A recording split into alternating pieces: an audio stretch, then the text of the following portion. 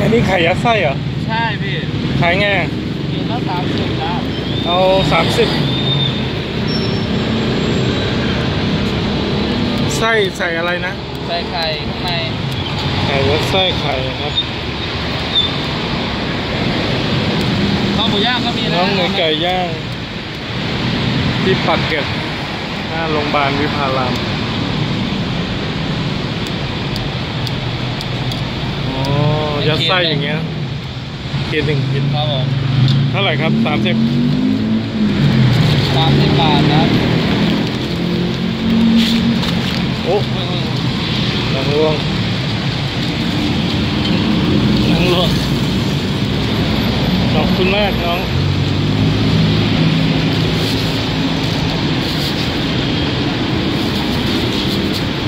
ระวังตังค์หล่นนะพี่ อืม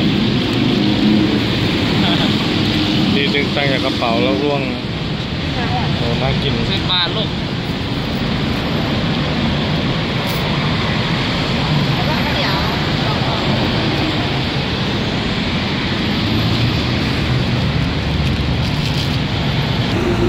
ก็ในที่ซื้อมาครับ เดี๋ยวมาชิมกัน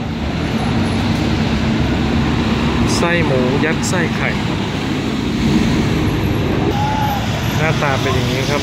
ก็เหมือนกับยัดไส้ไข่ตุ๋นนะ เอาไข่ตุ๋นหรืออะไรเงี้ยยัดเข้าไปในปรุงรสนะฮะ ยัดเข้าไปในไส้นะฮะ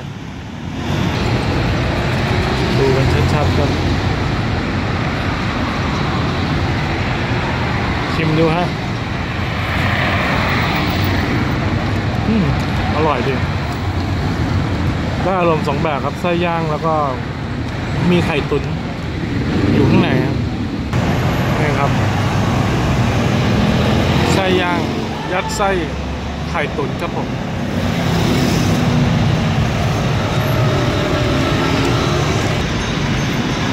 อร่อยดีครับ เอาลง YouTube เหรอพี่ น่าใช่ YouTube อ๋อ เนี่ย อร่อยมากครับขีดละสามสิบบาทครับหน้าขายเย็นๆนะ ปักเกร็ดหน้าโรงแรมวิภาราม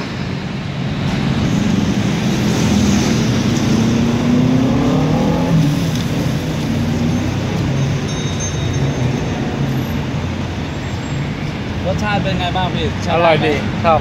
ครับพบกันใหม่ครับช anel ฟิลไทยใน YouTube ครับเป็นคืออาร์ต